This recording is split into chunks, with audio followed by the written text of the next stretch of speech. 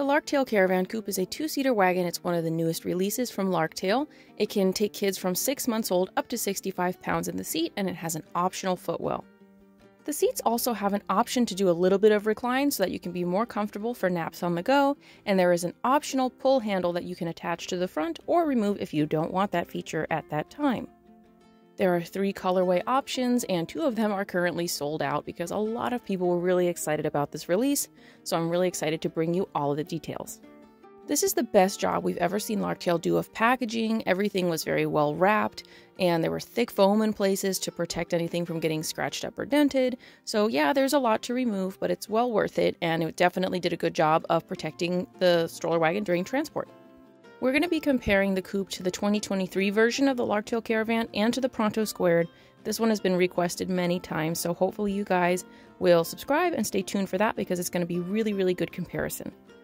For assembly, the first thing you want to do is unlock this manual locking clip, and then you want to do this as quickly as you can. Just one swift motion. It might be a little stiff like mine was, but that's okay. Otherwise, it'll be pretty easy to open up. You just pull up on that frame. I don't believe this part was in the instructions that you need to attach the back axle, this is where the brake is. For some reason, mine felt slightly wider than the actual frame of the coupe, so I had to kind of shove one side of it in. Once I got one side slipped on, I had to shove the other side of it to make sure that it would actually slide on. It was a little bit a little bit strange, but that also made it super duper snug. So don't be afraid to give it some muscle to really push in on it. I ended up having to use my hip so that I could use my core muscles to actually get it on there. But once you do that and it is in position all the way up against those silver pegs, you want to push those silver pegs in so that they will completely lock in and the back axle will be secure. From here, we're going to go ahead and put on the back tires. Now, the first one I had no problem with. The second one, for some reason, I noticed I had a little more trouble with. I've noticed on the Larktales that if you are having trouble putting a tire on, just make sure that you push that release button and it will slide on a lot easier. So there's a little pro tip if you're having trouble with your back tires. From here, we'll move on to the front tires. Now, these are also easy. They don't have a left or right side designated like the crossover did, so you can go ahead and just pop those right on. Again, if you're having any trouble, just push that quick release button that you can see right there on the side and they will slip on no problem. Next, we move on to seat installation. There are three parts to this. There is this clip that is on the back, there is a zipper that goes across the bottom, and part three is threading the crotch buckle through the bottom of the stroller wagon. Step one, we're going to get these zipped on. If you have a hard time, don't worry about it. It's all black in there and the zippers are a little small. Not a big deal, but for most people, this is going to be a snap. We're just going to go ahead and zip those on, and then you can do the clip that is on the back of the seat attaches to this little tiny nubbins that's on the back of the chair on the frame there. It's very similar to the one that is used for the manual locking strap when you are folding the stroller wagon. We like the quality of the seat belts on these. It feels like actual seatbelt material. I don't know if that is or not, but we do like that. It feels like it's going to last a long time. Go ahead and get that second seat zipped on and then do that little clip on the back, and then your harnesses are next. If you've ever owned a stroller wagon, you've probably had to do this before. You're simply threading this through the bottom of the stroller wagon. There's a couple of layers there, maybe like a plastic layer, a couple layers of fabric, but it's not too hard. You can see it here from the bottom as well if that helps any of you visual learners. This is also the best visual for that release button for the back tire, so we figured we'd show you right now. It's very easy to use once you know where it is.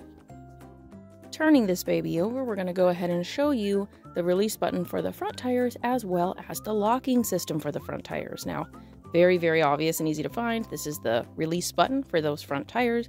Comes in handy when you are putting them back on. Now, the locking mechanism was interesting because it doesn't make a noise.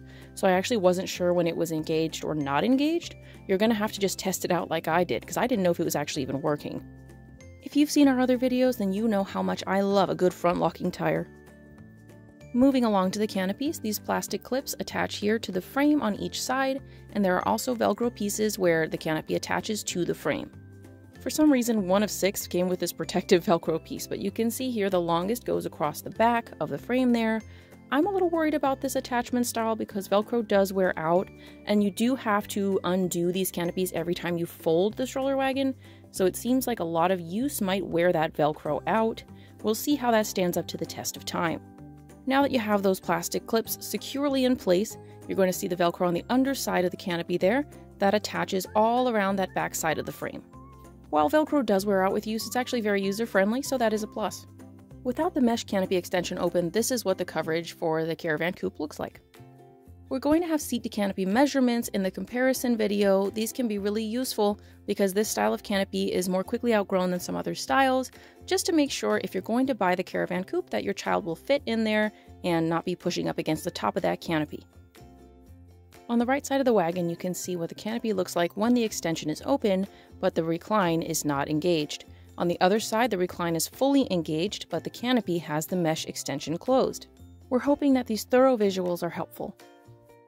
We noticed that while the recline is very easy to use, there's just one button on the underside of either side of the frame, it's not that easy to lock in place when the canopies are open. When there's no canopies, it's very easy to lock. Hopefully this will help you see what I'm talking about. I really pushed on each corner trying to lock out that recline, but as soon as I pushed it, it went right back in. We recommend engaging the recline when the canopy is not on. Also, if you're not using the recline mode, I recommend pushing these sides of the fabric out because they do tend to protrude into the child's seating area, which may not be as comfortable.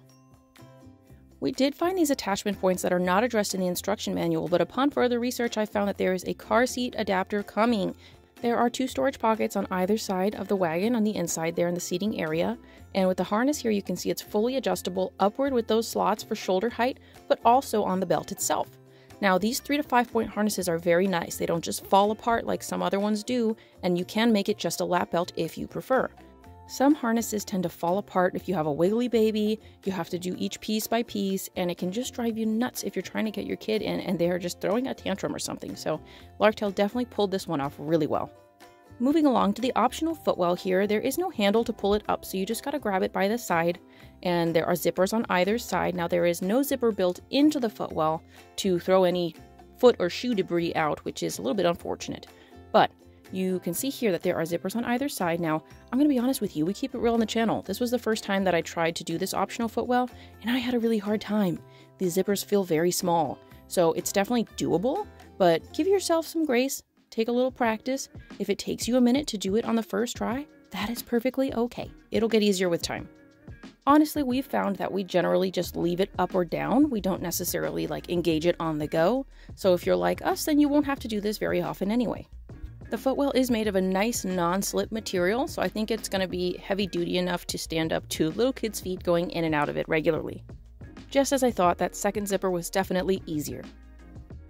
This little pocket can carry one pound and it is the only built-in parent organization.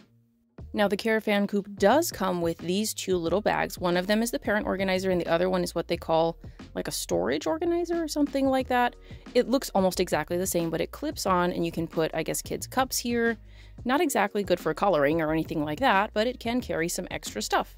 The cool thing is, though, is that it does have these clips that are built onto the back of it, and you can hang it from different parts of the wagon. So you'll see here they have their own little carrying pouch that's built onto the inside, and you can just pop those right out and we tried it in two different places for you. We put it right here on the side so you can see how that looks.